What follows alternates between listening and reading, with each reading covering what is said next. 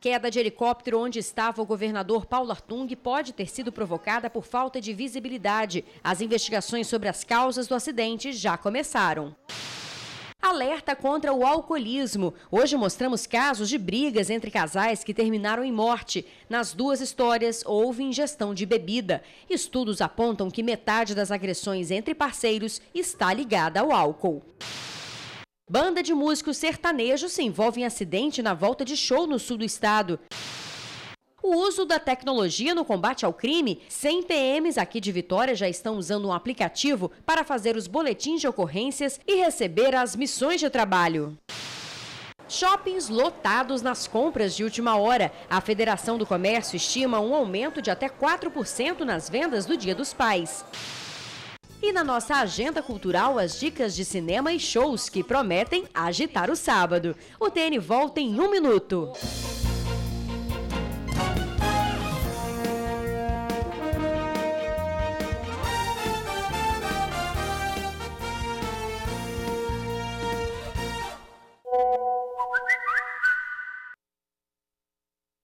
garantiu a normalidade dos serviços para toda a população capixaba. Tô falando, tô falando.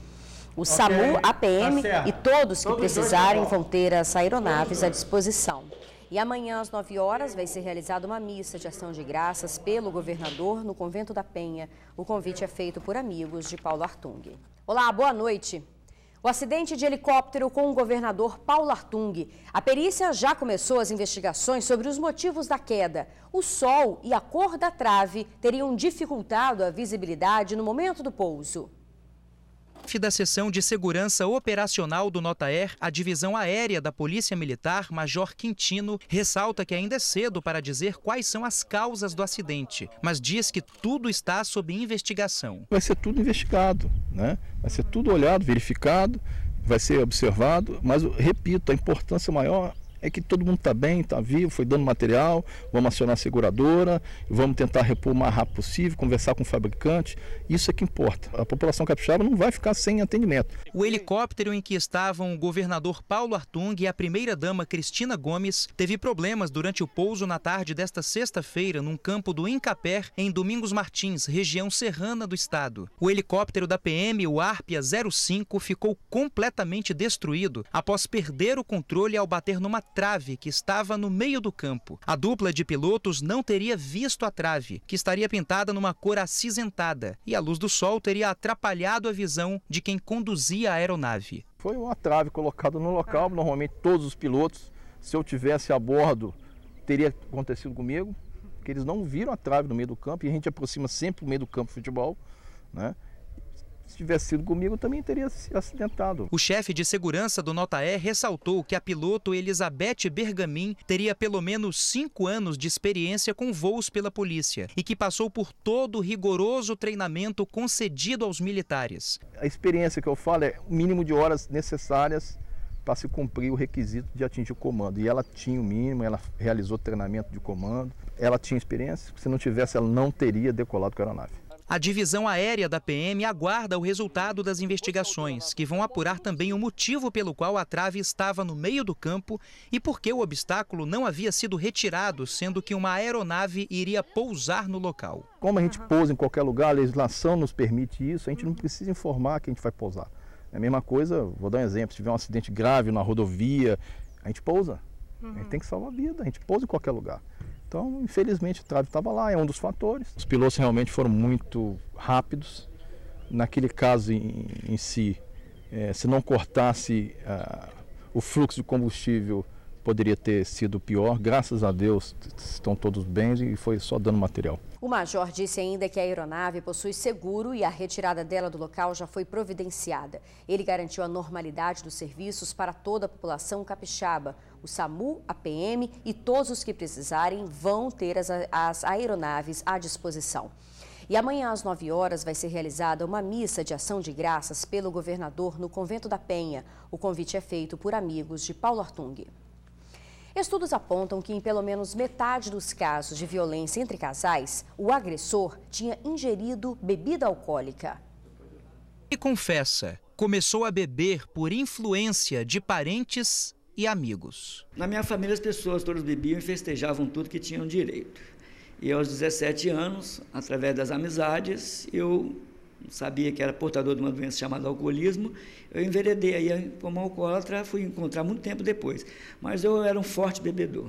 Daí o álcool começou a fazer parte da vida e começou também a destruir tudo que havia conquistado. De repente eu estava jogando tudo fora, estava desmanchando com os pés aquilo que eu estava construindo com as mãos. Uma pessoa que veio da favela estava ascendendo socialmente, muito bem, trabalhava numa grande empresa, ganhava mais de 20 salários mínimos, e eu estava sempre fazendo vales, fazendo empréstimos.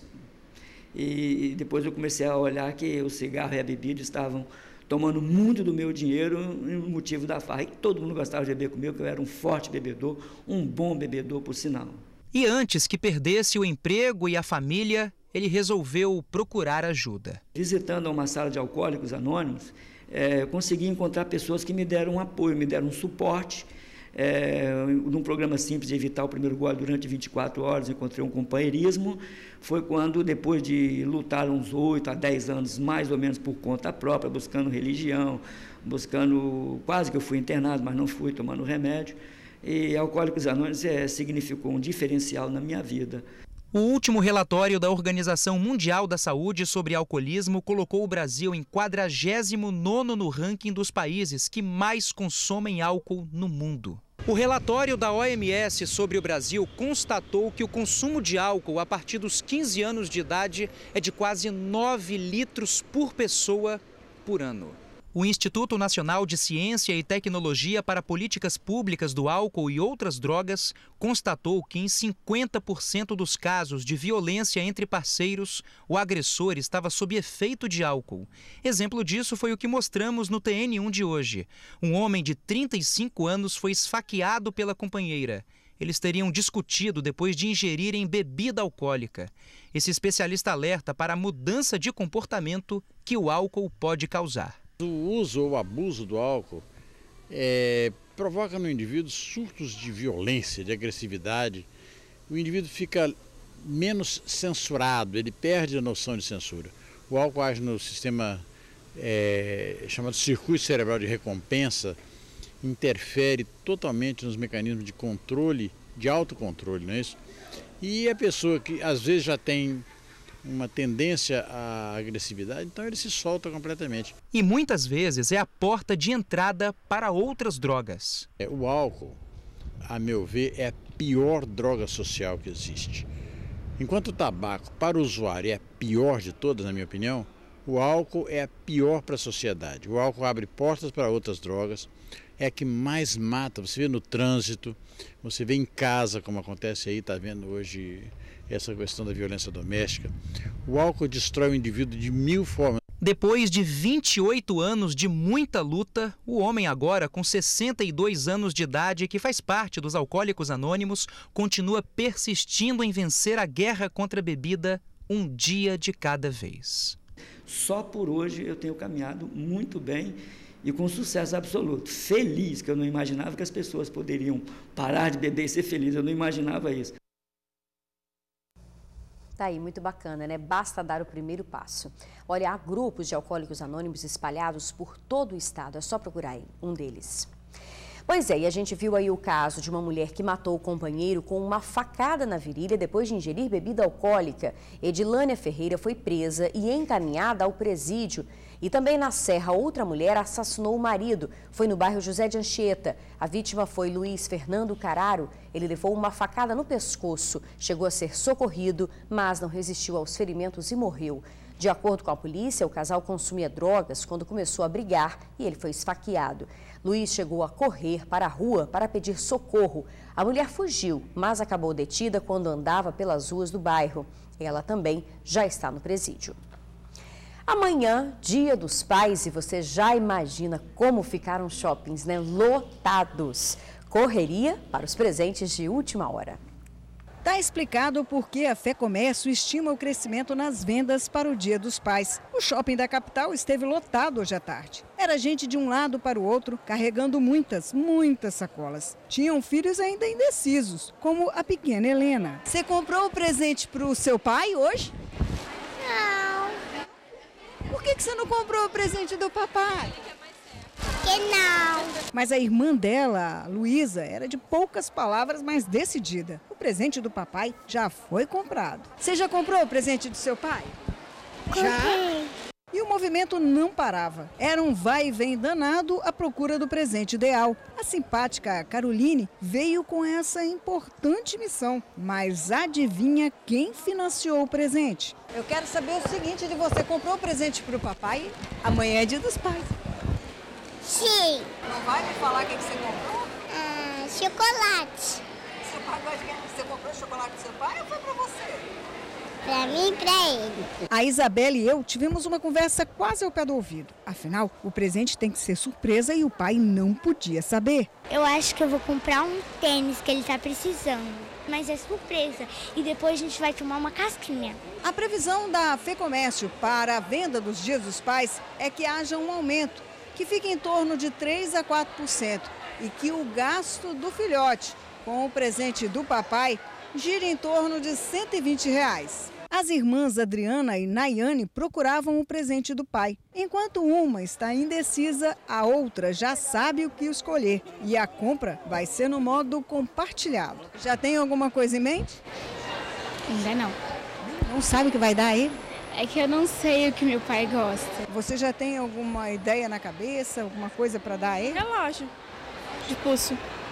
É o que ele gosta. Eu vou ver com minha mãe, eu eu consigo comprar um presente quando eu junto com minha mãe. E o pai se diverte. Para ele, o presente está mais que garantido. Meu presente já tem, né? Que são elas, né? Que Deus me deu esse presente maravilhoso aí que é para sempre, é eterno. O presente material fica até no último plano, terceiro, quarto.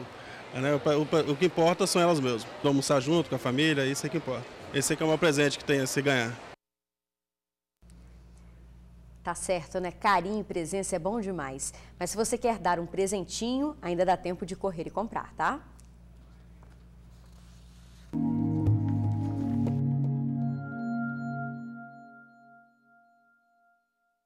Hoje foi dia de postos abertos para vacinação contra o sarampo e a poliomielite na Serra e em Vila Velha.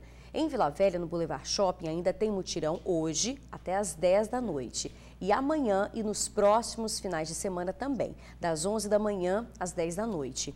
A vacinação é voltada para crianças de um ano a menores de 5. A meta é vacinar aqui no estado mais de 200 mil crianças até o dia 31, quando termina a campanha. Basta levar o cartão de vacina e quem perdeu leva a certidão de nascimento da criança. Agora a gente fala de um acidente que aconteceu na madrugada de hoje com músicos no sul do estado. De acordo com a Polícia Militar, o acidente aconteceu pouco antes das três da madrugada na rodovia que liga Cachoeiro de Itapemirim a Castelo. A van da banda Garotos Tradição bateu em um gol, mas ninguém ficou gravemente ferido. As vítimas foram encaminhadas para o hospital de Castelo. Os músicos voltavam de um show e ainda não se sabe a causa da batida. O uso da tecnologia no combate ao crime, 100 PMs aqui de Vitória já estão usando um aplicativo para fazer os boletins de ocorrência e receber as missões de trabalho. As missões a serem realizadas pelos militares estão ali, descritas uma a uma na palma da mão. Pelo celular, os policiais poderão, por exemplo, dar baixa nas atividades realizadas e confeccionar ocorrências. A ferramenta foi desenvolvida pela Diretoria de Tecnologia da Informação e Comunicação da própria PM. Trata-se de uma ferramenta de apoio à nossa atividade operacional. A ferramenta ela, ela disponibiliza para o policial é, missões né, que precisam ser cumpridas né, em determinados pontos, em determinados horários. Né. Todos os dados cadastrados pela equipe na rua são inseridos na ferramenta e acompanhados remotamente por um supervisor. Por exemplo, numa, numa abordagem a, a coletivo, os policiais eles é, pontuam ali a linha que está sendo abordada, né, a quantidade, aproximadamente a quantidade de pessoas que estão naquele ônibus, né, no coletivo, a identificação do motorista né, e outras informações. Elas vão todas para uma base de dados. Essa base de dados, então, a gente faz toda uma análise, né, uma análise criminal para melhor né, aplicar o policiamento. A primeira companhia do primeiro batalhão em Vitória foi a escolhida para testar o aplicativo. Em cinco meses de teste, cerca de 100 policiais que atuam aqui na capital tiveram contato com a nova ferramenta. E a aceitação foi boa, tanto por parte do efetivo operacional quanto por parte da população. A principal vantagem levantada durante os testes foi a agilidade que a ferramenta oferece aos policiais, fazendo com que a resposta à população seja mais rápida. A partir de agora, o policial militar ele preenche todos os dados, todas as informações do seu serviço operacional no próprio smartphone. Não há necessidade de um computador, um relatório escrito. Ele preenche automaticamente e, com isso, dá mais celeridade à sua disponibilidade. Ele encerra aquele atendimento de uma maneira mais imediata, mais rápida e tornando-se assim mais disponível para o atendimento ao cidadão, ao policiamento, ao patrulhamento, ao preventivo em si. A previsão é de que em até dois meses, 500 celulares sejam disponibilizados às equipes da Grande Vitória. E a expectativa é de que, em breve, além de ser estendido a todo o efetivo da região metropolitana, o aplicativo seja integrado ao CIODES. Hoje, todas as, as, nossas, as nossas chamadas de atendimento 190 para as viaturas é realizada via rádio. O nosso objetivo é que essa, esse acionamento seja feito na ferramenta. Então, o policial vai receber é, toda a informação diretamente no seu smartphone, onde vai ter condições de ter uma ação mais rápida né, para o cidadão. Muito bacana, né? E tudo que vem para ajudar a combater essa criminalidade que parece não ter fim, né? É muito bem-vindo. Tomara que a gente veja logo os bons frutos dessa aliança entre tecnologia e a polícia. E a seguir você acompanha as dicas de lazer e diversão na nossa agenda cultural. E agora as dicas da nossa agenda cultural.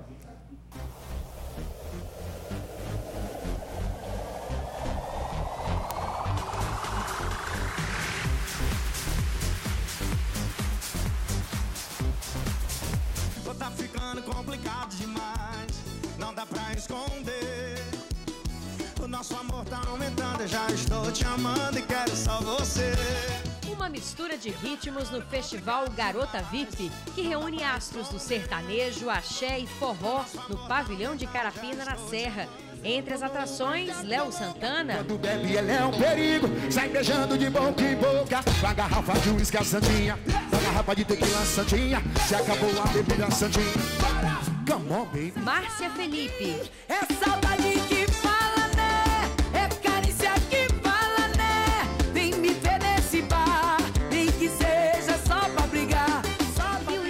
idealizador do projeto, Wesley Safadão. A vida de casada é boa, só perto pra de solto. Sabia que tava me casando e acordei no desespero. Vida de casada é boa, só pede pra de solteiro. Papo é só pegar e papo. Se deu mole na balada, eu vou chegar e papo. É só chegar e papo. É só pegar e papo. E o agito continua no Balada Sertaneja. A festa acontece no Vitrine Music Bar, embalado pela dupla Evandro e Ranieri. pegar e papo. Faz carinha de safada, tatarada, eu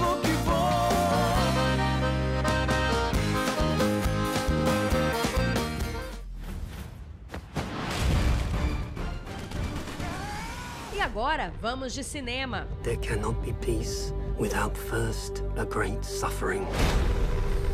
The greater the suffering, the greater the peace. Obrigado a unir forças com a agente especial da CIA para mais uma missão impossível, Ethan Hutt, vivido por Tom Cruise, se vê novamente preso numa teia que envolve velhos conhecidos movidos por interesses misteriosos e moral duvidosa. Atormentado por decisões do passado que retornam para assombrá-lo, Hurt precisa se envolver com seus sentimentos e impedir que uma catastrófica explosão ocorra, mas ele conta com a ajuda dos amigos.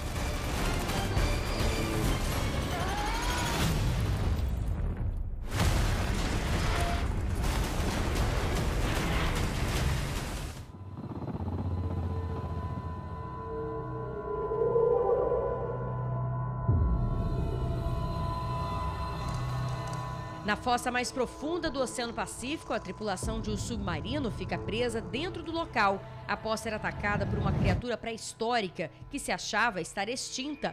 É um tubarão de mais de 20 metros de comprimento, o megalodon. Para salvá-los, o oceanógrafo chinês contrata um mergulhador especializado em resgates em águas profundas, que já encontrou com a criatura no passado.